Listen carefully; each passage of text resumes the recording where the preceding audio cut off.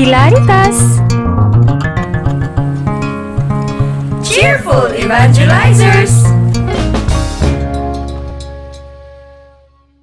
Mayong adlaw mga kahilaritas, karon atong pagahisgutan ng mahitungod sa kasaulugan sa pangilin sa putli nga kasing-kasing ni Maria nga atong gisaulog atong niaging Sabado.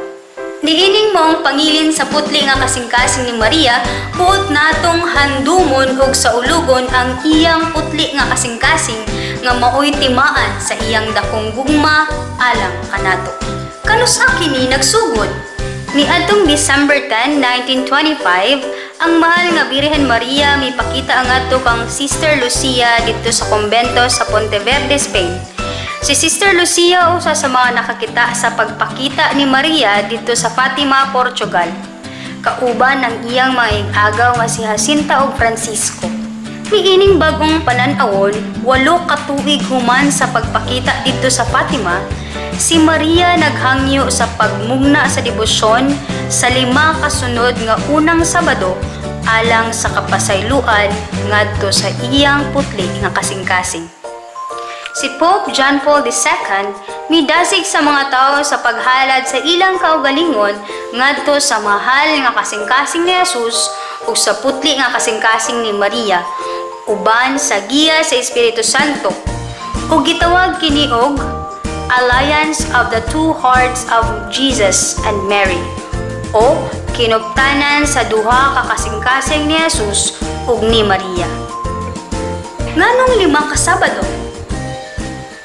Ang mga Kristiyano kanunay nga nagpasidungog sa bulahang Birhen matag Sabado tungod sa iyang makanunayang pagtuo kang Jesus ngadto sa unang Sabado Santo sa wala pa ang pagkabanhaw.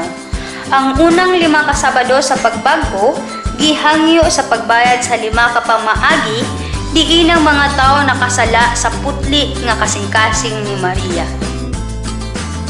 Pag-atake batok sa kaputli ni Maria pag-atake batok sa walay katapusan nga pagkaulay ni Maria. Pag-atake batok sa iyang balaanon nga pagmabdos ug sa pagdumili sa pagdawat kaniya isip idahan sa tanang katawhan. Kadtong musulay sa publiko nga pagtisok sa mga kasing-kasing sa mga bata nga walay pakialam, pagtamay o bisan pagdumot sa putli nga inahan. Kadtong nag-insulto kaniya pinaagi sa pagpanamastamas sa iyang sagrado nga mga imahe. Unsa ang naandan nga buhaton ni ining debosyon sa putli nga kasing-kasing ni Maria? Kini nga debosyon naglangkob sa musunod nga mga naandan sa lima kasunod-sunod nga unang Sabado sa bulan uban sa mga intensyon sa pagbag-o sa lima ka mga bugat nga sala sa tao batok sa bulahan nga birhen. Una, pagdawat sa sakramento sa kumpisal. Ikaduha, pagdawat sa santos nga Eukaristiya. Ikatulo, pag-ampok sa lima kadikada sa santos nga rosaryo. Ug ikaupat, ubani ako sulod sa 15 ka minutos samtang na malandong sa napulog lima nga misteryo sa santos nga rosaryo. Mga saad likod ni ining debosyon.